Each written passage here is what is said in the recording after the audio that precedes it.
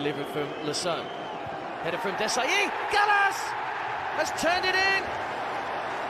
And William Gallas, who scored his first Blues goal against Spurs in the FA Cup, has a first goal at Stamford Bridge. Melchiot, that's a good ball down the line for Johnson, who stayed on for uh, Gronkjar, who stayed on side. Pulls it back, Hasselbaink, good save Sorensen.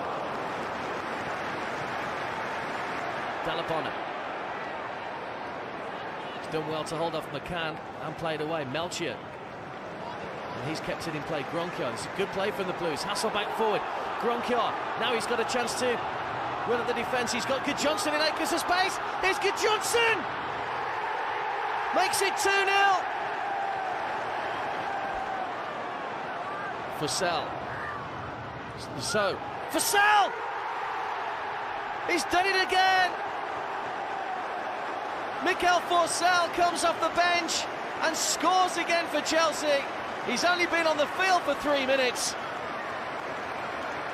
Melchiot. Good deflection.